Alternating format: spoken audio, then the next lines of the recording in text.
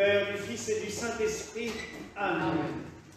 Et bienvenue déjà à vous toutes et tous en ce dimanche de rentrée, puisque c'est la rentrée non seulement pour les enfants et les profs, mais aussi pour les paroisses qui retrouvent un petit peu leurs effectifs. Il y a encore quelques vacanciers qui ont fait durable, mais on retrouve à peu près nos effectifs, j'allais dire.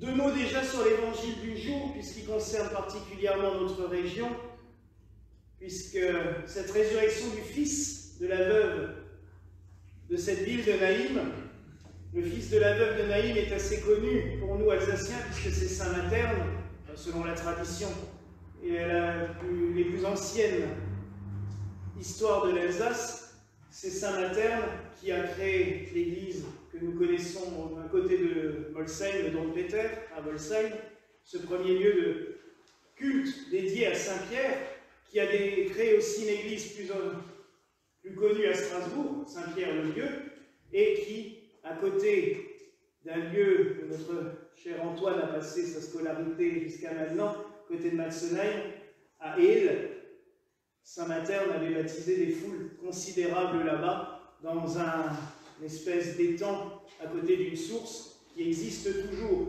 Donc c'est vrai que c'est un évangile qui est toujours cher pour l'histoire de l'Alsace. Mais Saint Materne fut connu surtout, non pas pour avoir été ressuscité par le Christ, même si c'est quand même quelque chose d'exceptionnel, mais surtout parce qu'il a prêché et il a enseigné la parole de Dieu un peu partout dans cet axe rénant, puisqu'il a commencé chez nous, mais il a continué par la suite du côté de Trèves, pour finir en Belgique, à Tongres, où il a terminé ses jours.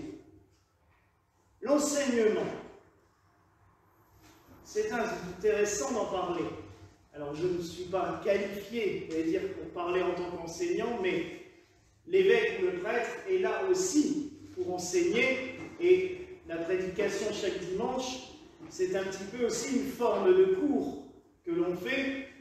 Et des fois, on a même dit, mais on a l'impression d'être au catéchisme, parce que c'est vrai qu'il y a des, fois des bases à reprendre quand on se retrouve. Et c'est surtout dans des messes, là, vous, avez l'habitude, vous régulièrement, mais on en avait justement, on a eu le cas il y a quelques temps pour une famille, où on se rendait bien compte, on s'est rendu compte au bout de 10-15 minutes, bah, que l'homélie, il faudrait faire un tour de catéchisme parce que la plupart des gens qui étaient là, ça faisait il y a 30 ans qu'ils n'avaient pas dû mettre les pieds dans une église.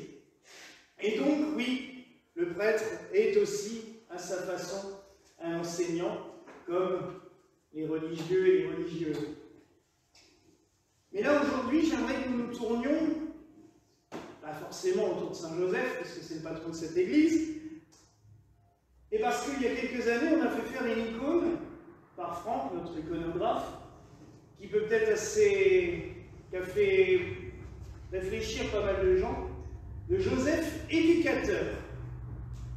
Parce qu'on oublie bien souvent que Joseph n'est pas juste le santon de la crèche, ou cette espèce de ravi qu'on nous a présenté, qui est là, qui va, il contemple, il parle pas, il dit rien, il fait rien.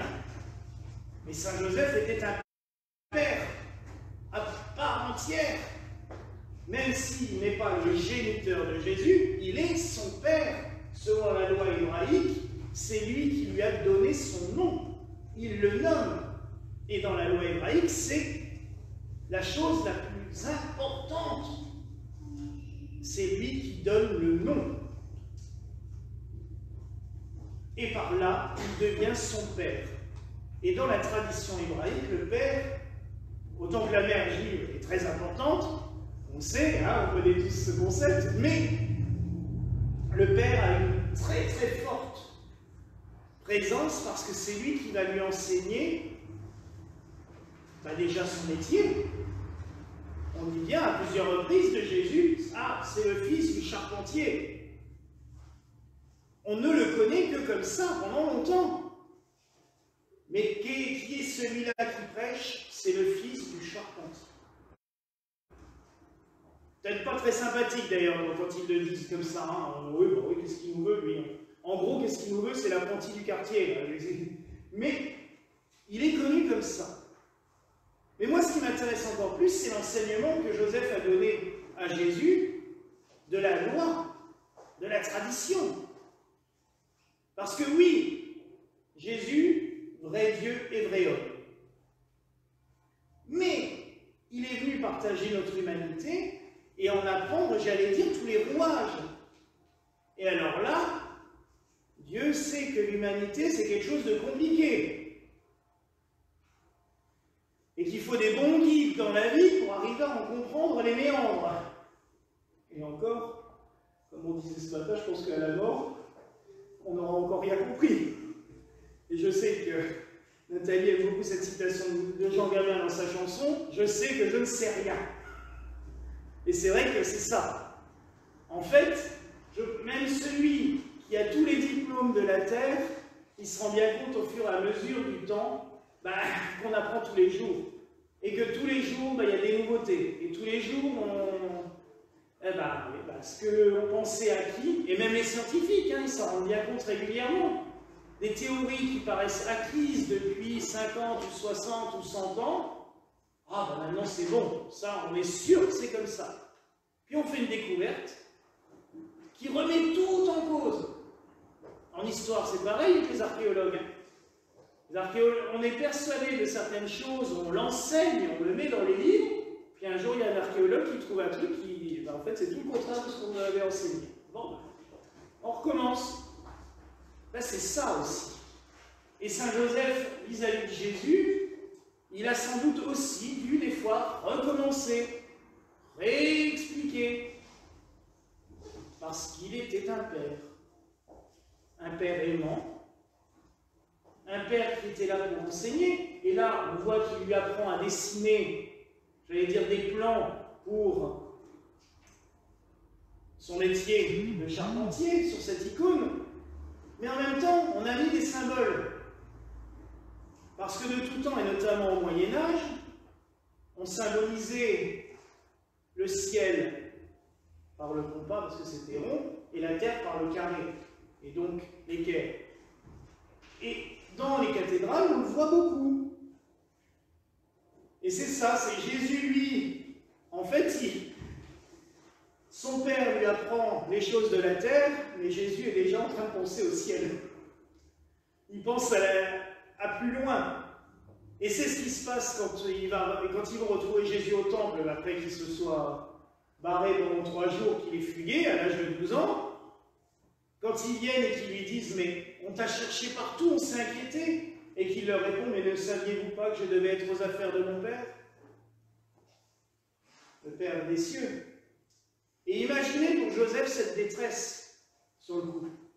Ça fait 12 ans, il sait que l'enfant est particulier, la jeunesse a quand même été assez spéciale, la fuite en Égypte, déjà la naissance à Bethléem, le débarquement d'étrangers qui arrivent avec de l'or, de l'encens, de la lyre, les bergers qui arrivent en disant c'est des anges qui nous ont dit que votre fils était né. Déjà, l'enfant c'était quand même costaud. Mais à un moment donné, comme quand des parents adoptent un enfant, on oublie la vraie réalité. Et Joseph, quand il a emmené Jésus, et j'aime bien imaginer comme ça, main dans la main, le vendredi soir, pour aller à la synagogue, pour l'office du soir, ou le samedi matin. Parce que c'est ça. Il y a aussi une, une icône qu'on voit où Joseph est en train d'enseigner la lecture des Saintes Écritures à Jésus. Ben oui, fallait apprendre les Saintes Écritures. Pour qu'au moment, à l'époque, ça ne se faisait pas sous la forme actuelle de la bar mitzvah, mais il y avait quand même ce rituel du passage où on avait le droit, à 12 ans, de lire la parole pour la première fois dans la synagogue. Ben, il a bien fallu que quelqu'un lui apprenne tout ça. C'est Joseph. Donc imaginez, il bosse, il fait son travail pendant des années, puis un jour il se retrouve avec ce mur devant le nez, mais ne saviez-vous pas que je devais être aux affaires de mon père? En gros, c'est bah oui, t'es là, mais maintenant, j'ai besoin de toi. Ça fait ça dans la tête de celui qui entend ça. Et, quand on enseigne, quand on apprend des choses à quelqu'un, À un moment donné, bah, on nous dit des fois l'élève dépasse le maître. On n'est pas, j'allais dire, propriétaire de ce à qui on enseigne. On est là pour transmettre quelque chose.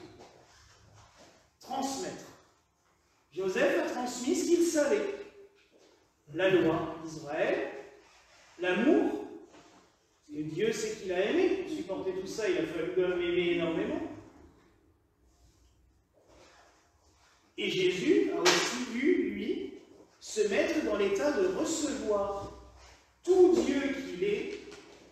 Il lui a fallu apprendre les méandres de notre nature humaine. Et alors là, comme je l'ai dit avant, les méandres de la nature humaine, je pense que les catacombes parisiennes sont plus simples pour trouver la sortie. Et pourtant, car c'est vraiment compliqué. Mais il a dû se mettre dans l'état d'apprendre. Et l'être humain, en fait, c'est ça tout au long de sa vie. Il y a des moments où il est dans l'état d'élève, je me pose, j'écoute, j'apprends. Et il y a des moments où il est dans l'état de transmettre quelque chose. Et il ne faut jamais perdre ni l'un ni l'autre.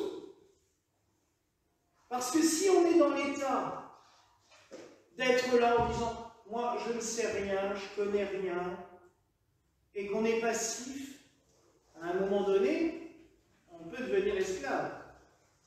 Celui qui se dévalorise, qui s'abat. Mais celui à un moment donné qui dit moi, J'apprends à tout le monde et j'ai besoin que personne ne m'apprenne rien. C'est foutu aussi. On explose. Et c'est ce que nous dit la parole. Saint Paul le dit bien. Ne cherchons pas une belle gloire. Et non, il ne faut jamais. Car comme on disait, on ne sait. Une chose, c'est qu'on ne sait jamais. On est là pour apprendre tout au long de notre vie. Apprendre des réactions humaines, apprendre de Dieu. Ce matin, je citais un ami théologien aussi, qui à 75 ans m'avait dit J'ai fait de la théologie toute ma vie. Je l'ai enseigné, je l'ai appris, je l'ai enseigné. Maintenant, je me demande si j'aurais pas dû juste tout simplement croire en Dieu et pas chercher parce qu'à un moment donné, j'ai cru que j'allais perdre Dieu. À force de tout triturer dans tous les sens. Parce qu'il m'a dit, le fait d'enseigner et de... Il s'est pris pour un surhomme. Je le sais. Mais quand il se retrouvait face à l'immensité de Dieu, c'était un pasteur, il m'a dit, bah, quand je me retrouve là devant Dieu, devant tout ce qu'il est capable de faire, il me dit, bah, qu'en fait, toutes mes réflexions, toutes mes triturations de cerveau n'ont servi à rien. Parce que je ne comprends quand même toujours pas d'où il vient et pourquoi il nous aime tellement malgré toutes les conneries qu'on fait. Ben oui. Il faut aussi, des fois, dans notre vie, savoir qu'on ne. Certaines choses sont incompréhensibles. On ne peut pas tout comprendre, on ne peut pas tout savoir. Mais là aussi, c'est une forme d'humilité et c'est aussi une forme d'apprentissage. Pourquoi est-ce qu'il m'arrive telle chose? Ben, Il y a peut-être des fois où ça doit juste arriver. Mais de chercher le pourquoi du comment de tout, en fait, on, on creuse, on s'enfonce et on n'arrive plus à en sortir. Et c'est ce que Saint Joseph nous apprend aussi. Imaginez si à chaque fois qu'on lui avait fait une mauvaise nouvelle, et je rappelle quand même qu'il y en a eu beaucoup durant la, la, venue de Jésus, il s'était posé, il s'était trituré l'esprit pendant, cinq jours pour savoir ce qu'il devait faire. Et pourquoi et comment, il l'a fait à un moment donné. Qu'est-ce que je vais faire de Marie Est-ce que je la répudie Est-ce que je la garde Et là, il a eu la lumière de Dieu. L'ange Gabriel qui lui a dit Ne crains pas de la prendre avec toi. Ok. Mais après, une fois que ça s'était fait, qu'il avait été rassuré par l'ange, il n'a pas passé 50 ans à se l'esprit. Prends l'enfant, fuis en Égypte. Ils veulent le tuer. Ok, je prends l'enfant et on part. Il a agi avec son cœur. Parce qu'il avait appris que l'amour est vainqueur. Je veux dire qu'il vivait, j'allais dire, avec l'amour incarné. Ça, malheureusement, on l'a peut-être pas toujours à portée de main à nous. Lui, il l'avait dans ses bras.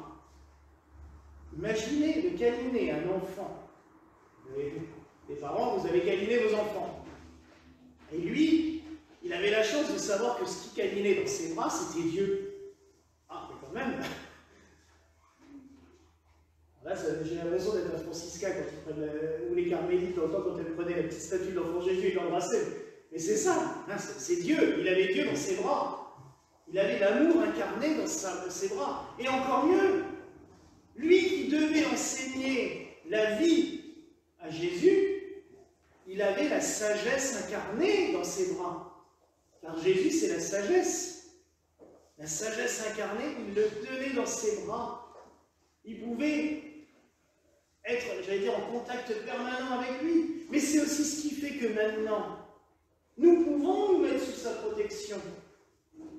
Parce que, comme je vous l'ai déjà dit, comment Jésus refuserait-il les prières de quelqu'un qu'il a porté dans ses bras pendant toute sa jeunesse, qu'il a nourri, qu'il l'a accompagné, qu'il l'a protégé. Et on voudrait nous faire croire que du jour au lendemain, Marie et Jésus, parce qu'ils sont morts, n'auraient plus moyen de transmettre quelque chose à Jésus de notre part. C'est pas possible.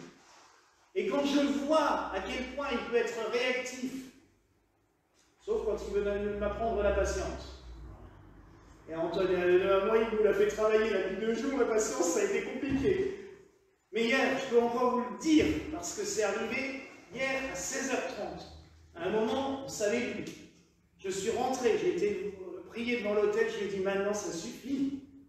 Aide-nous, parce que là, on ne s'en sort pas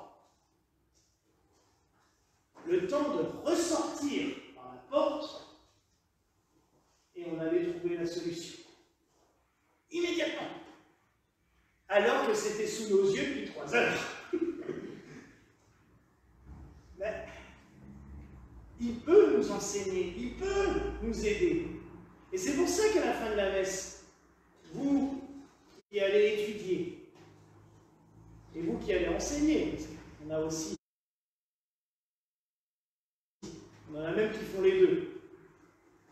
C'est encore mieux quand ils font les deux ensemble. Mais on va demander à Saint Joseph de vous prendre sous sa protection, sous son manteau. C'est ça qu'on a exposé aussi le reliquaire du manteau de Saint Joseph sur l'autel aujourd'hui.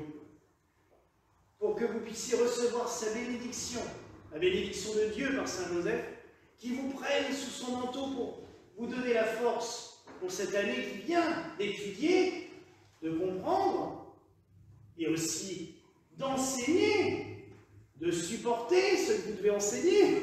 Parce que je sais que ce n'est pas toujours évident. Quand j'ai déjà entendu des anecdotes de rentrée là ce matin, c'était plutôt cocasse. Hein Parce qu'en une journée de cours, arriver en dirait 4, c'est déjà. Il y a des collèges sportifs, hein. il y en a qui sont des écoles un peu plus sportives que d'autres, mais franchement, et j'aime bien parce qu'il y a des fois des endroits où on bénit, on fait la messe des enseignants. Mais alors on ne prend pas les élèves. Des fois on fait la messe des élèves, mais il n'y a pas les enseignants. là, il y a des profs, il y a des enseignants, il y a des étudiants. Comme ça on a tout. Et des élèves. Bon, je pense qu'ils sont assez sages. Ah non, la maman n'est pas convaincue. Bon. mais on a tout. Et là, c'est tous ensemble que vous allez être mis sous la protection de Saint Joseph. Pour qu'il vous donne cette force, mais aussi, et par pitié, mettez-vous à son écoute. Laissons-le nous parler au cœur. Vous n'attendez pas ce qu'il apparaisse devant vous. Ça fait des années qu'il aimerait qu'il m'apparaisse et il ne le fait pas. Mais là, il nous parle. Et il va nous aider, toujours mais il ne nous apprendra pas n'importe quoi. Et rien de lui-même. Tout ce qu'il va nous apprendre, c'est aller vers son Fils, vers Jésus. Et Jésus, lui, nous enseigne le ciel, les mystères des cieux. Et ça, c'est ce qu'il plus beau. Alors oui, en ce jour, tournons-nous vers Dieu, écoutons sa parole, mettons-nous à l'école de sa sagesse, parce que c'est là où nous pourrons puiser le plus de bonheur. Et sans doute, nous y trouverons beaucoup plus que tout ce qu'il y a dans les livres. Même si je suis aussi un grand fan de livres, vous le savez, et je ne critique jamais les livres, au contraire. Mais dans le cœur de Dieu, là, nous trouvons beaucoup plus. Et souvent, déjà, la réponse à nos propres questions. Avant de vouloir répondre aux questions des autres, il faut déjà arriver à répondre à ses propres dilemmes, à ses propres questions. Et là, souvent, c'est bien compliqué. Donc, c'est dans le cœur de Dieu que nous pourrons trouver les réponses à nos questions et du coup, être plus à même d'aider les autres, d'être à leur écoute et de pouvoir aussi leur apporter quelque chose qu'ils garderont tout au long de leur vie. On a eu tout au long de notre vie des profs Certains qui nous ont marqués par leur sévérité, pour connaître, par leur pénibilité, comme certains. Euh, j'en ai partagé avec Nadège, donc on sait on parle à chaque fois que je dis ça. Mais on en a aussi qui étaient exceptionnels. Parce qu'ils ont su nous mettre quelque chose dans la tête. Et Dieu sait qu'on avait la tête dure aussi, qu'on n'était pas forcément les plus sages. Mais ils ont réussi à nous laisser quelque chose dans le cœur ou dans la tête, et ça c'est énorme. Et quand, 30 ans après, des fois, en lisant quelque chose, en entendant quelque chose, j'ai l'impression d'entendre la voix de mon prof de français, parce que c'est celui-là qui m'a marqué le plus à l'époque. Parce que c'était un comique, mais il nous a appris beaucoup de choses. Mais quand j'ai l'impression encore d'entendre sa voix en train de citer tel ou tel auteur, je me dis, ben, il n'a pas loupé sa vie, il n'a pas loupé son boulot, c'est resté. Alors oui, mettons-nous à l'écoute de Dieu. N'hésitons jamais à transmettre ce que nous savons à l'autre, transmettre dans l'humilité, dans la gentillesse, dans la bienveillance. Pas en venant et en disant je sais tout, toi tu sais rien, je vais tout te montrer. Non. Sur là, c'est le meilleur moyen pour qu'en face, on ferme les écoutilles, on n'entend plus rien. Mais dans la sagesse, dans la bienveillance, et aussi, restons toujours à l'écoute pour pouvoir apprendre de Dieu, apprendre des autres, et demandons la bénédiction ce jour de Saint Joseph. Voilà la grâce que je vous souhaite en ce jour au nom du Père, du Fils et du Saint-Esprit. Amen. Et que la paix du Seigneur soit toujours avec vous.